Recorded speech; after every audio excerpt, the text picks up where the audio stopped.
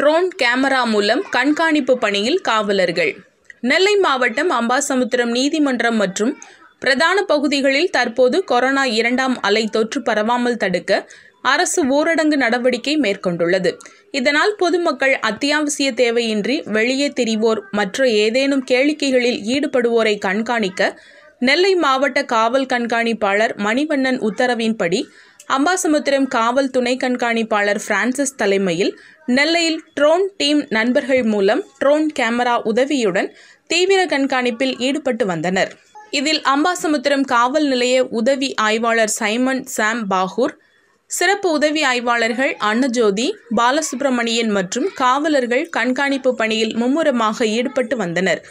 வாகனத்தில் அத்தியாவசிய தேவையின்றி இ பாஸ் இன்றி அளவுக்கு அதிகமாக ஆட்களை ஏற்றிச் செல்லும் வாகனங்களுக்கு அபராதம் விதித்து வந்தனர்.